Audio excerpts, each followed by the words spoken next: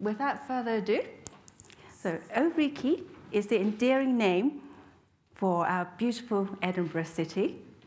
And it was first used by Robert Fergusson in his poem on Edinburgh entitled Auld Reekie.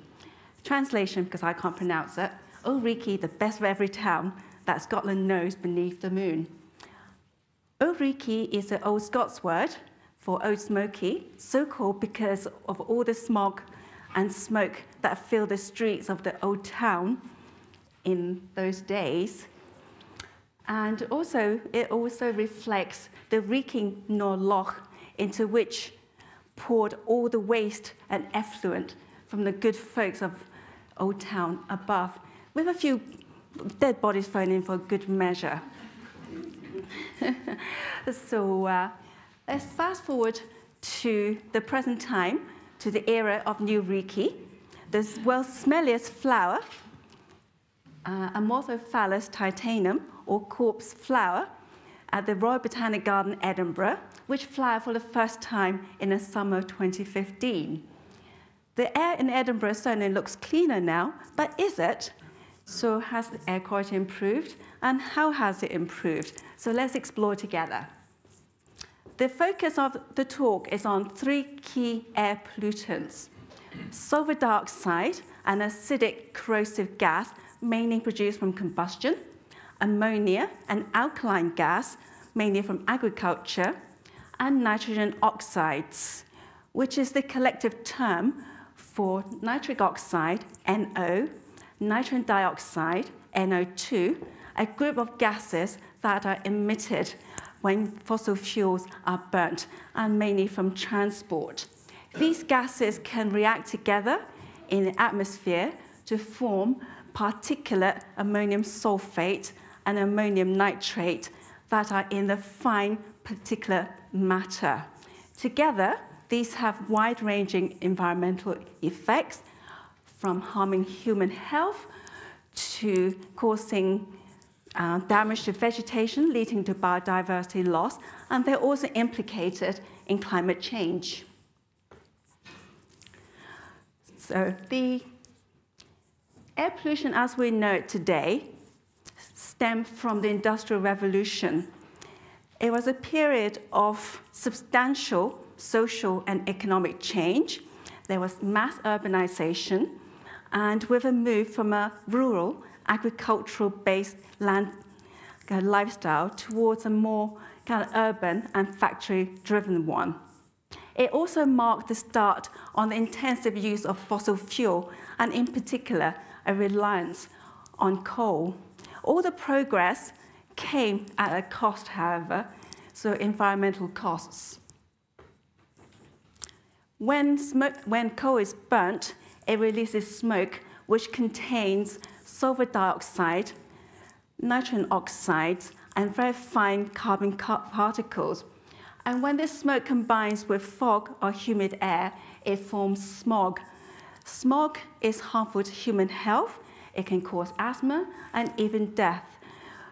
During the Industrial Revolution period, smoke poured from every chimney, from homes, from factories, from incinerators. But it was something that people just had to live with in the name of progress. That is until the 1952 Great Smog of London happened. So over a period of four days in December 1952, a dense yellow smog blanketed the city of London. Everyone ground to a halt. Economic loss was huge, and 4,000 people, over 4,000 people died from the effects of the smog. And this forced Parliament to act. So the UK Clean Air Act in 1956 was born following the uh, disaster of the smog. It introduced smoke control areas for the first time, so reducing um, coal use to smokeless fuel, and it uh, introduced measures to reduce um, coal burning in urban areas, and it also gave local authorities the power to control emissions of smoke, grit, dust, and fumes from industrial premises and furnaces. The later Act in 1968 introduced tall chimneys with the aim to disperse the pollution further. But um, the act of having taller chimneys reduces local pollution just spread the problem further. So you just covered a wider area in the pollution. So all the Clean Air Acts and subsequent legislations were repealed and replaced by the Clean Air Act in 1993, which still remains in force today. Well into the 1960s, scenes like this were still commonplace. Smog-filled streets and soot-covered tenements in Edinburgh and Glasgow because change doesn't happen overnight. So the transition to cleaner fuel, the smoke control areas took years to take place. Uh, so for example, this news article in the archive reports three months of dense fog affecting the Clyde area of Glasgow with economic cost to the tune of 20 million pounds. Burning coal also produced another problem, acid rain. So when the sulfur dioxide and nitrogen oxides are released from coal burning, it can combine with water droplets in the air to form weak solutions of sulfuric acid and nitric acid. And when this fall in rain, it creates what is called acid rain because the rain is more acidic. And it was um, a Scottish comic, uh, chemist, comic chemist, Robert Angus Smith, who first came up with the term acid rain when he observed that rainwater near industrial installations more, were more, more acidic. And he published his findings between air pollution and acid rain in a landmark book, Air and Rain, the beginning of a chemical climatology. He also observed the corrosion effect of acid rain, and he wrote in 1856, it has often been observed that the stones and bricks of buildings, especially under projecting parts, crumble more readily in large towns where coal is burnt. I was led to attribute this effect to the slow but constant action of acid rain. Today, the UK government sets out in its UK air quality strategy, air quality objectives and policy options to protect human health and protect the natural environment for today and into the future.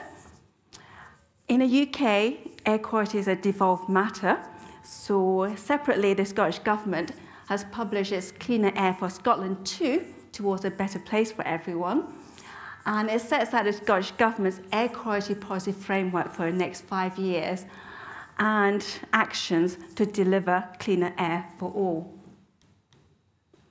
So some kind of background to air pollution. So when air pollutants are released, they disperse, carried by the wind, and become diluted as they mix with the air.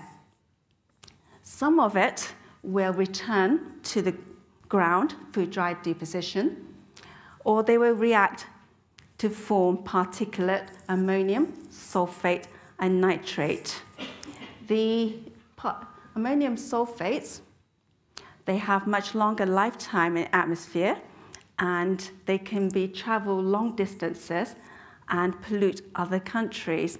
These are removed either by dry deposition processes or by wet deposition in rain, in fog, or mist or snow. So in the UK, the emissions from the, of the gases from different sources are compiled in an emissions inventory. The concentrations of the gases and aerosols in air are measured in monitoring network. Wet deposition can be measured in rain. And dry deposition, it can be measured, but it's expensive and very complicated. So often it's just modeled. Under the EU National Emissions Ceilings Directive, now transcribed into the UK National Emissions Ceilings Regulations 2018, the UK government is committed to deliver emission reductions in five key air pollutants. And these are ammonia, sulfur dioxide, and nitrogen oxides that is the focus of this talk, and two other pollutants, non-methane volatile organic compounds and primary PM2.5. That's a fine particulate matter. And the objective is to reduce the levels and deposition of acidifying and eutrophying and ozone pollution below the critical levels and critical loads, which we'll come to in later slides. The emissions data that are compiled are available from the National Atmospheric Emissions Inventory, which also provides comprehensive emission about the air pollutants and their sources.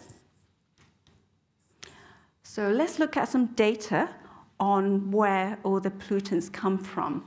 These plots show the total emissions for each of the gases and broken down by the major sources. So sulfur dioxide and nitrogen oxide are released when coal and other fossil fuels are released. So the energy industries, power plants, and industrial combustion are major sources for SO2 and NOx. And these have come down substantially since 1990. With nitrogen oxide, because it comes mainly from transport, emissions of NOx from transport adds further to the total amount of NOx. And uh, an important point here is um, the year 2005, because that is the baseline year against which all the emission reduction targets are set. And it's important to know at that moment in time what sources are causing the pollution to target the mitigation and abatement. For ammonia, uh, a large proportion of it comes from agriculture and uh, is mainly from livestock farming and from the use of fertilizers. So currently about 87% of the total emissions in the UK comes from agriculture. The map shows the spatial distribution of the three different gases. And each of the map reflects the kind of um, where the emissions come from and the source strength. So if we look at the sulfur dioxide map on the left, then the cleanest areas are the dark blue, and then going through yellow with the highest emission areas. So Scotland is pretty clean, so the Highlands and the West Coast, because there's not much industry and not many urban centres. And you can pick out kind of Edinburgh, Glasgow, the central belt with the high emissions from industries. For NOx, because it comes primarily from transport, the map reflects centres of uh, population, so the big cities like London, Edinburgh, Glasgow, and the major rail, uh, road networks. So for example, in Scotland, you can just pick out the A9, because that's where all the emissions are coming from. and for ammonia, it's from agriculture, so the areas of highest emissions are areas with the highest intensive agriculture. So um, most of Northern Ireland and um, in the border areas between Wales and Shropshire, in Eden Valley and in East Anglia. So very different patterns. Just a bit about ammonia. Following the war, the Agricultural Act of 1947 was introduced to promote self-sufficiency in food and to maximize agricultural productivity. And uh, since the act was passed, then uh, the average cereal yield in Britain has been increasing year on year, as shown in the map. But the increasing efficiency in arable farming came at a cost to biodiversity, as the uh, plot on the right shows. So this shows uh, a change in vegetation communities on countryside survey arable plots between 1978 and 1980. And what it shows is that um, the plots with non-crop or weedy species are decreasing with increasingly intensive management of the land. The intensive agriculture would not have been possible without the invention of the Haber process in 1913. So this is the major industrial process for synthesis of ammonia by reacting nitrogen and hydrogen together under high temperature and pressure. And today, and today 50% of the world's ammonia comes from this process, and about 85% of this ammonia is used to make fertilizers the rest is used to make um, industrial products such as explosives. And uh, what might come as a surprise is that uh, ammonia also comes out of car exhaust because there are three-way catalytic converters that are designed to remove NOx also releases ammonia. And uh, it also talks about using as a fuel the future. So this is the same plot looking at total emissions in the UK for the three gases, together with their emission reduction targets.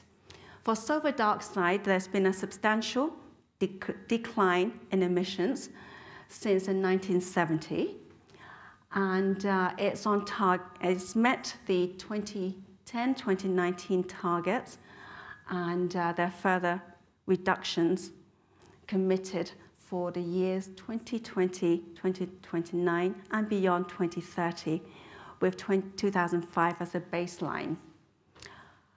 For NOx, the emissions are not coming down as quickly, and um, transport emission is a problem, and, um, and, measures need to be taken to uh, meet those targets for 2029 and 2030. So, so some key events for the um, decrease in emissions in NOx and sulfur dioxide. So in the late 70s, there was a switch from heavy industry, notably in the iron and steel sector, to surface-based industry, which reduced combustion emissions. And the increase in road traffic led to more emissions of NOx in the late 70s. So, and then from the 1990s, there's a switch from high sulfur fuels like coal and fuel oil to natural gas, which um, helped to bring the emissions down.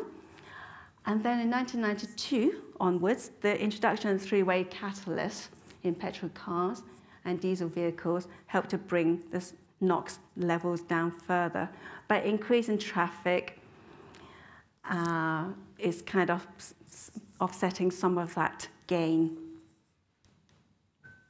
For ammonia, ammonia hasn't really come down very much, and data for ammonia is only uh, available from 1980, but it's come down very little since then. And with the current trend in ammonia emissions, then it's likely that uh, the UK will miss the target for 2029 and beyond 2030, and uh, actions will be taken to reduce emissions from farming. So again, uh, the same plot, but um, with a breakdown according to the four UK nations. And this shows that um, England has the lion's share in the total emissions. And uh, so with nitrogen oxides, the decrease is 79%. Uh, for sulfur dioxide, it has been the most successful with a 96% decrease. Ammonia, still remains a challenge.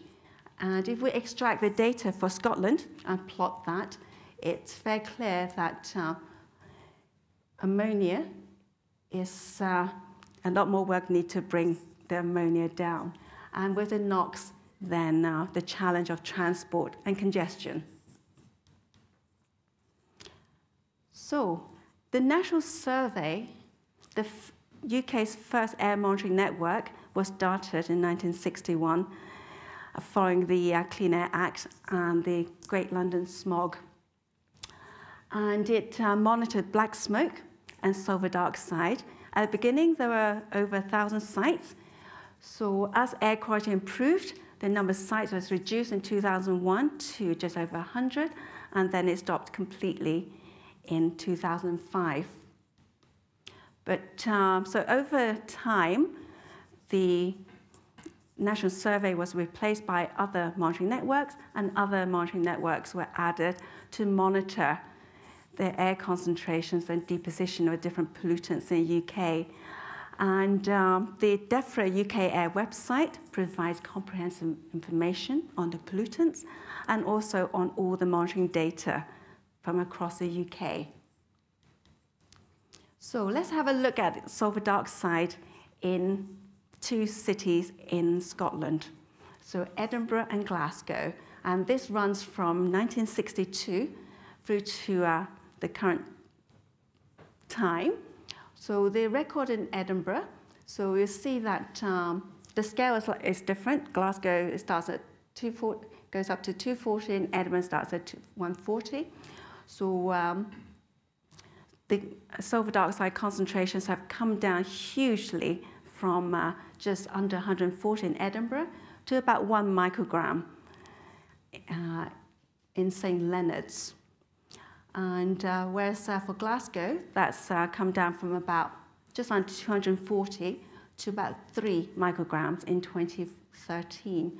So um, the is sulfur dioxide, it's improving and it's consistent with the reduction in sulfur dioxide emissions. Underneath, I've put down the air quality limits for sulfur dioxide. For human health, it's 125 micrograms, but that's a 24-hour mean. But our data is on annual mean concentration, so we can't complete, uh, com directly compare. But if we can compare with the um, limit set for vegetation and ecosystem, which is set at 30, then we're definitely well below that level for protection of ecosystem and vegetation. Moving next on to the story of NOx. Again, this is uh, for Edinburgh and Glasgow. And um, so monitoring work started about 1980, and these are data I managed to pull out of their website. So it started very high for both cities, higher in Glasgow. And uh, importantly, what we see is that uh, Nicholson Street in Edinburgh, this is a site that is right next to the road and it's a very busy road and the concentration started very high and it's still very high. It's 44 and it's above the uh, air quality limits for protecting human health. So that's still an issue. And St. Leonard's here, it's a background site, so it's on a quieter road and it's well set back from the road, and the concentrations are much smaller at 17. So that highlights the problem of busy roads and the proximity of where you are to the road. In Glasgow, it's a very similar story. The curbside site that's uh, right next to the road, busy, and um, the concentrations are even higher there. It's about 84. And um, there's two other sites there, which is background site, but they're still pretty high at 33, which is above the level for protecting vegetation ecosystem. So we're getting a large reduction in sulfur dioxide, but NOx is still a challenge. So if we look at the uh, background concentration map for uh, NOx, then uh, we can pick out areas like uh, Edinburgh, Glasgow, Dundee, and Aberdeen, the kind of urban centres with high transport uh, kind of uh, car use. And then uh, London is uh, very high. So, but bear in mind that this is a background concentration map. So next to roads, the concentrations will be higher. So for urban flora project, depending on the proxim how close you are to a road, it will affect your vegetation. And uh, on the right is just saying that um, there were just under 3 million cars registered in Scotland in 2018. So uh, transport is a problem. So with increasing car use and congestion, and uh, even with um, the introduction of stricter standards, it uh, is still a challenge. And uh, another problem with uh, NOx emissions, apart from the direct impact human health, is also the formation of photochemical smog. So in the old days, smog from sulfur dioxide, but in these days, the smoke that you see is usually photochemical smog. And uh, it's formed when uh, nitrogen oxide and volatile organic compounds in the atmosphere react with sunlight to form the brown photochemical smog. That lovely kind of orangey brown tinge you see on the horizon on a lovely still day. So, and um, so ammonia is quite complex. So we have a number of sites across Scotland which has been measuring ammonia since 1997. And I've picked just um, summarized the data in this box plot of all available data from Scotland. So some explanation. The diamonds show the, these are annual mean concentrations and the timeline. So the diamonds are the mean concentration of all sites in each year. And there's no clear trends, and it's just going up and down each year, but are mainly below one microgram. The gray boxes show the interquartile, the median and interquartile range, and the whiskers show the maximum and minimum concentrations measured from all sites. So uh, what we can see is that uh, since measuring measurement began in 98, the maximum concentrations have come down. But that maximum concentration was actually driven by one site at Auchincruive. And this was the uh, Scottish Agricultural College. It closed in 2014. so uh, sometimes you have to be very careful when you interpret this data. And um, so, but uh, from that chart, we can see that um, there are still number of sites with concentrations below the one and three micrograms, and the significance of which I will explain in the next slide. And it's on the critical levels of ammonia concentrations. And this is defined as the concentration of ammonia in atmosphere above which adverse effects on receptors, such as plants and ecosystems, may, may occur according to present knowledge. So um, long-term annual mean concentrations of one microgram per cubic meter is set for the protection of lichens and bryophytes. For other vegetation, it's three. And uh, a monthly mean concentration is also set at 23 micrograms. So every year, the critical level exceedance of ammonia concentrations in the UK are reported. And this is the latest map showing um, concentrations across the UK. The blue areas are the clean sites with concentrations less than one, and the red areas are above three, and the yellow areas are areas that are between one and three. So most of Scotland is very clean, but there are still large areas which are exceeding the one microgram per cubic meter level for uh, protecting lichens and bryophytes. And it's hard, oops, but it's hard to see. There are some red areas, but bear in mind, again, this is a background concentration map. So at farms and closer sources, the concentrations will be higher. So for example, if you go quite close to toilets in the town. So just going to touch a little bit on the uh, ecosystem impacts of pollutants, acidification. Simple definition is when the water or soil becomes too acidic. Sulfur dioxide, NOx, and ammonia and their reaction products, ammonium sulfate and ammonium nitrate, when they deposit to um, the ground, causes acidification so acid rain is uh, around 4.2 to 4.4, and clean rain is around 5 point, uh, 4.5. 5.5, sorry. and um, so when these uh, pollutants deposit in the environment, it can uh, cause the soil or water to become acidic, and this has a number of effects. So uh, for human health, it's not really the acid rain that causes the problem. It's the ammonium sulfate and ammonium nitrate that are in the fine particulate matter uh, fraction that causes human health impacts. The acidification effects is damage to forest and other vegetation by acidifying the soil that would lead to nutrient leaching, so loss of base cations such as calcium and potassium, and the appearance of aluminium, which is toxic to plants. It can also damage aquatic ecosystem, and by making the surface water too acidic, uh, leaching of aluminium, which is toxic to animals, and it also causes corrosion that we touched on earlier. So reacting with calcium carbonate and corroding metals and all the associated problem.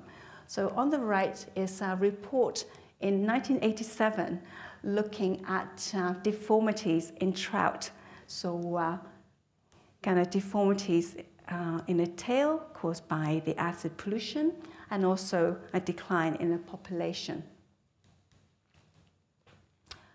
So in the UK, we have um, the precipitation network that has been collecting rain and analyzing the rain since 1980s. I've put out some example data from some of the sites in Scotland. And uh, so these are the six sites across Scotland. And uh, with a pH measured in rainwater from 1984 through to 2020. And what we can see is that um, there's a steady improvement in the rain and it's um, becoming less acid with time. So from the acid rain of about 4.6 and um, recovering to above 5. But uh, the curious thing is happening because since 2020, the improving trend is flipped and the water is actually becoming more acid. So uh, this needs to be looked into a bit further to understand what's happening. It could be that we're importing more waste from more pollution from other countries, depending on the uh, prevailing winds, or some other chemical things happening in atmosphere between the pollutants. So, and the next thing, eutrophication. This is enrichment of an ecosystem with a limiting nutrient. And uh, sources include nitrogen-containing gases like ammonia and NOx, and nitrogen-containing particulates of ammonium sulfate, ammonium nitrate. And um, so the acidification and eutrophication can all lead to um, kind of changes in vegetation, ecosystem function, and biodiversity loss. And with eutrophication, it's particular harmful for natural and semi-natural habitats that are usually nutrient limited. So the extra nitrogen from the pollutants can alter their competitive balance and um, lead to all the changes that you see. For example, uh, a switch from uh, wildflower witch meadow to rough grassland. And on the right is a study we did um, along a transect downwind of a farm. So, uh, looking at doing a lichen survey. And uh, so acidophytes, I think all you, you guys here know, such as cladonia, they prefer clean air with low ammonia and naturally weak conditions of the tree bark. And this is disappearing along the transect with increasing concentrations. So above 10 micrograms on the trunks is disappeared completely. Nitrophytes prefer high nitrogen supply and less acidic bark. And uh, if we look at a graph, then it's increasing with ammonia concentration as you go towards the farm.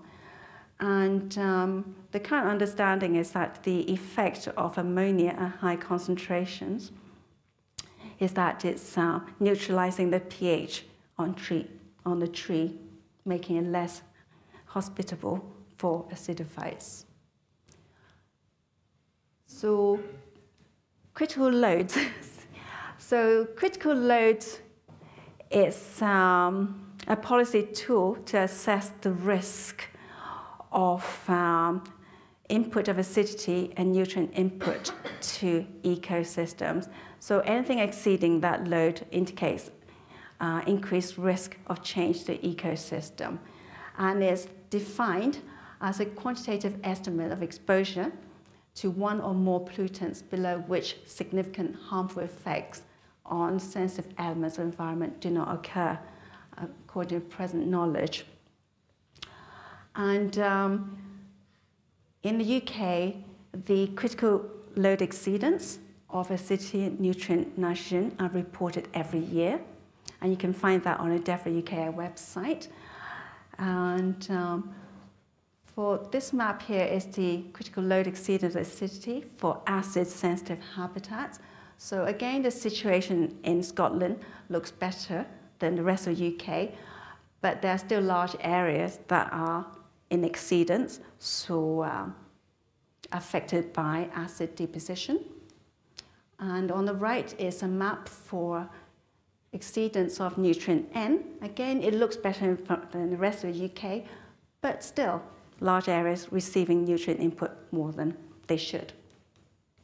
So to summarize, yeah, so um, the Industrial Revolution marked the start of the use of um, coal and other fossil fuels and left a legacy of air pollution that we're still suffering from in the present time.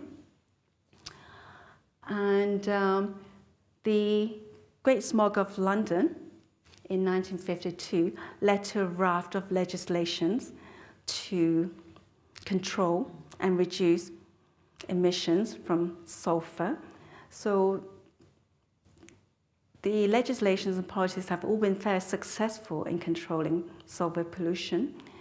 But we now have a, a change in the chemical climate from a shift from sulfur pollution to nitrogen pollution because uh, NOx emission from transport is not coming down as quickly as we would like, and ammonia pollution from agriculture is still a huge problem. So nitrogen pollution today represents major threats to uh, human health, to the ecosystem, and also implicated in climate change. And um, yeah, I think that's all I'm going to say. Thank you.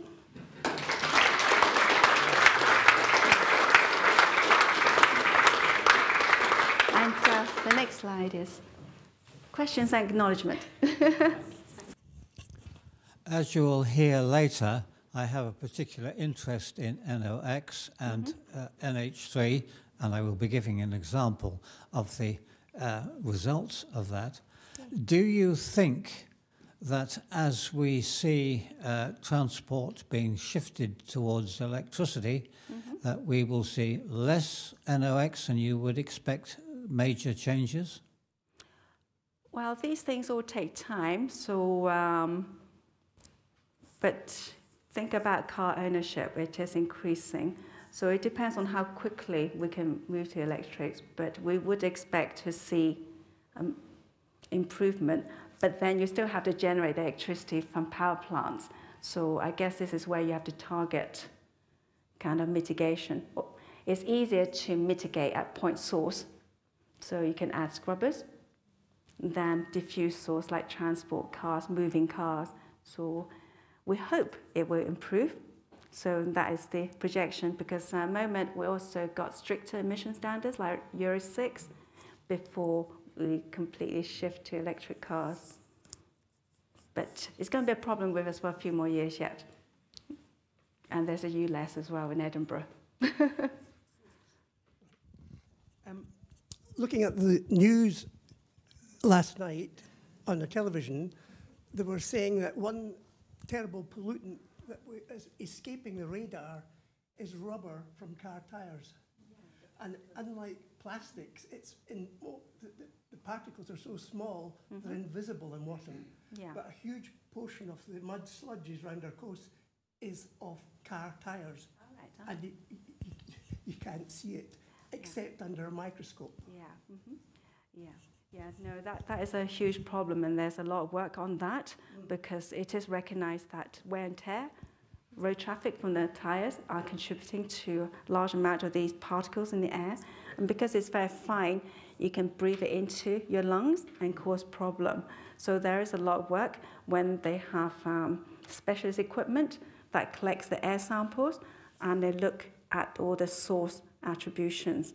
So uh, they can get a signature on car tires and they can find out how much of that actually comes from cars and from the different sources. But, um, but that, I think that is kind of an ongoing concern, the particles, yeah, the wear and tear from car tires. I think, yeah, not sure how we can replace car tires because rubber is such a good material. Right, time for one more question. Very nice talk, thank you. Nitrogen is, of course, a fertilizer for plants. So, what we would expect to be happening is that the whole country should get greener, the walls should be greener, the fast growing plants should grow even faster, uh, shading out the delicate, slow growing species that don't benefit in the same way. So we should expect vegetational change. Uh, we should expect a decline in some rarities, which uh, will be outcompeted by the fast, tall growing ones. Now, to what extent have we been able to see this in the record? I, I don't think we know the answer to that question. I think that is something one ought to be looking at. Yeah, I've got. Um, I just going to. Just. Uh,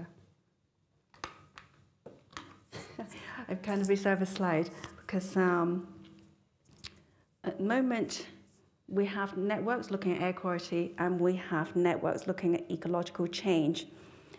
But um, since 2018, we have formed this network called the uh, UK Air Pollution Impacts on Ecosystems Networks, and it's an attempt to integrate the air quality and ecosystem. So with the changes in policies and the changes in air emissions, concentration, and deposition, are we seeing recovery in the plants? So this is bringing together all the different networks, long-term monitoring networks, and surveys like a countryside survey, so uh, to attempt to answer that question by using key bioindicators and uh, indicators. But the countryside survey, they've got funding to uh, do some more work now. so uh, they should be able to look at the changes.